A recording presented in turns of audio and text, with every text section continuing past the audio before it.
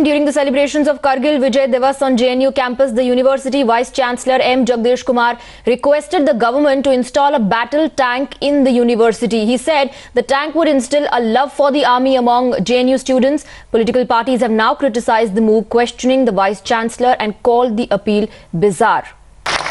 We would like to request Shri VK Singh and also Pradhanji to help us procure an army tank so that we can put it in a prominent place in JNU.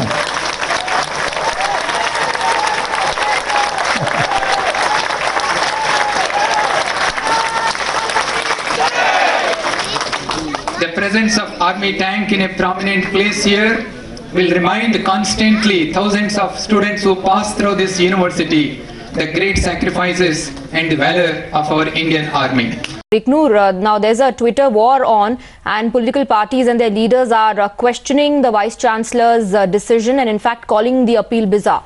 We've seen uh, several political leaders actually uh, come out, to Twitter, also come out and give statements about how uh, this is something that is completely unwarranted and, uh, you know, in a way is making uh, a mockery of the entire situation. But the point at hand is that the Vice Chancellor, of course, has written to the government saying that a tank should be installed uh, inside a JNU because there has been an attempt, at least in the last several months, we've seen from the administration of JNU to try and uh, cleanse, as they call it, the atmosphere of uh, JNU. They've in fact uh, been trying to calm down and mellow down the kind of uh, protests that have uh, uh, been taking place in the university in the last one, one and a half years, which have in fact sent out a message that the atmosphere of the university is such that it's either anti-national or there is an entire league inside the university that is uh, promoting ideas that are contrary to that of nationalists. And that is exactly the kind of image of the university the Vice Chancellor at this stage uh, aims to actually change. And this